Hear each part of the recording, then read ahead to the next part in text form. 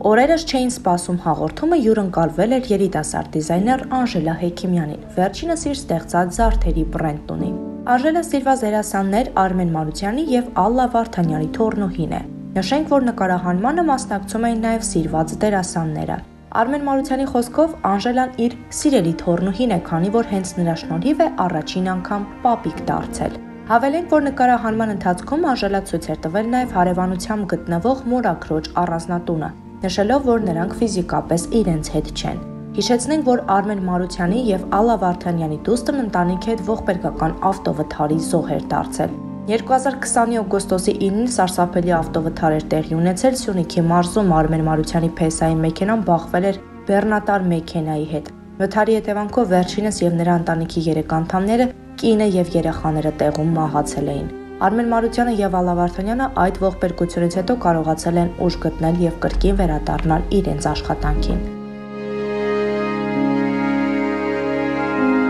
Բաժանորդագրվեք մեր ալիքին սեղ մեկ զանգակի վրա, որpիսի առաջինը դուք տեղեկացված լինեք վերջին եւ ամենաթեժ լուրերից։